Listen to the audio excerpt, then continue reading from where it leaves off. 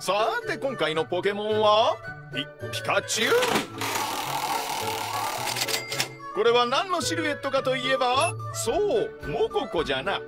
綿毛ポケモンのモココはメリープの進化系じゃ。ピンク色の体は体毛に溜まった電気を体内に通さないようにゴムのような性質を持っておる。頭と襟の体毛は電気